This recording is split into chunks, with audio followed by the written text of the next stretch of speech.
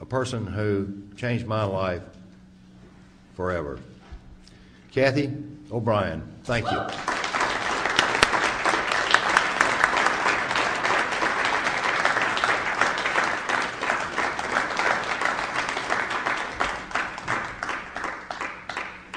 I'd like to thank you for coming out here this evening to arm yourselves with comprehensive understanding of mind control because knowledge is our only defense against mind control. Knowledge is our only defense against it, which is exactly why it's being, in, being suppressed under the 1947 National Security Act. There's a small handful of criminals that are in control of our government and in control of our country that are in control of our information. And they're suppressing pertinent facts such as mind control and hiding under the National Security Act. That's national security that's threatening the security of our nation when it allows for crimes against humanity like tortures to continue. When it allows for mass mind control mechanisms to go into place through social engineering that keeps us all warring with each other and not really understanding exactly what it is that's going on in our world. We all formulate our thoughts, our opinions, and ultimately our actions based on what we know. And when our knowledge base is altered, we're left to superstition, conjecture, and ultimately fear. And fear is a strong basis for mind control, whether it's a kind of mind control that is the mass mind control over a whole society, or if it's the kind of absolute robotic mind control that I experienced under MK Ultra on a White House Pentagon level. I feel very fortunate to have recovered from my mind control victimization and to have a clear view of what's actually going on behind the scenes of what Adolf Hitler and George Bush termed a New World Order. It makes perfect sense to me what I'm seeing in society today. And the truth that set me free from the absolute mind control that I experienced can also set you free from any kind of fear that you're experiencing through what is happening in our society and in our world today. It can also free you from any kind of trauma that you've experienced in the past. It can also free you from information control that has left you wondering what in the world is going on today. I'd like to provide a, a comprehensive view of exactly what mind control entails based on uh, my victimization in mind control and also my recovery from it because the mind expanding abilities that I gained in my recovery process are abilities that each and every one of you would be able to use to gain a better understanding, to know what's going on in the world, and empower you to make a positive difference in your own lives and in your own walk of life, in your own society, your own family, and affect those that you love as well. In 1957, I was born into a multi generational incest based family. My father had been sexually abused, his mother was a prostitute.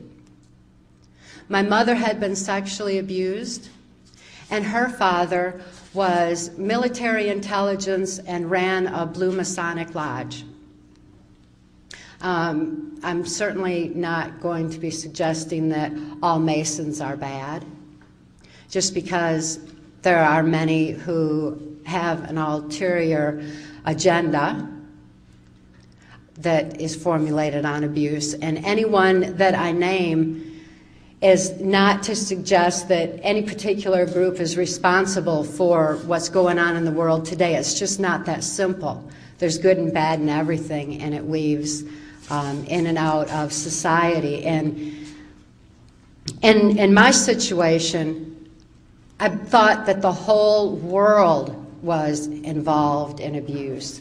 And as a very young child, I had hoped that there was some place in the world where people didn't abuse their children.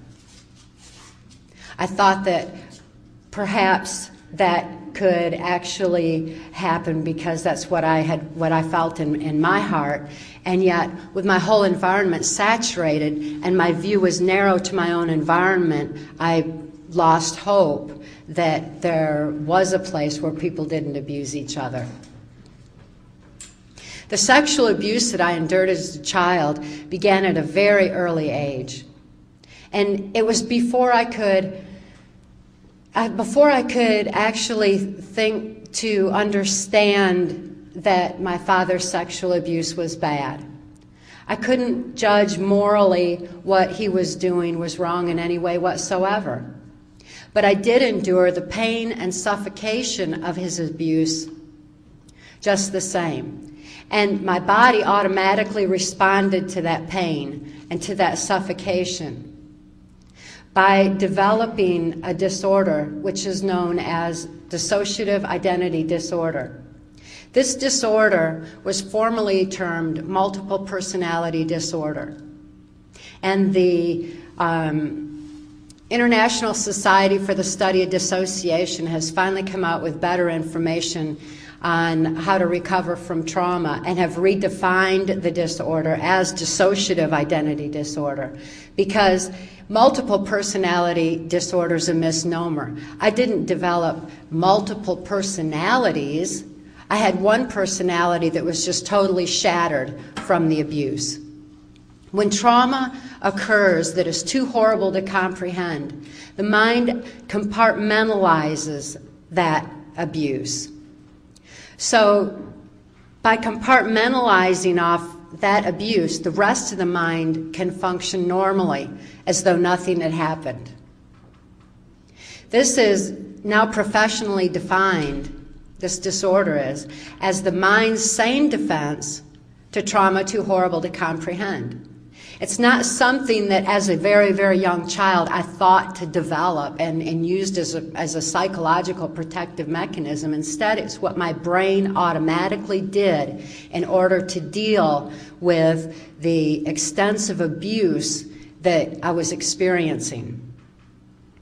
My father may not have been aware of the effects on my brain that his abuse was causing. Not until much later, when his sexual abuse used as a, expanded into um, into child pornography. He was supplementing the family income with proceeds from child pornography he was making of me, and this this child pornography was being sold through the local Michigan mafia child pornography ring. Well, back then, this was just right around the um, age of six. So this was like now into the early 60s. And they, the, a local politician was actually sanctioning this child pornography ring in order to target children like myself for MK Ultra mind control.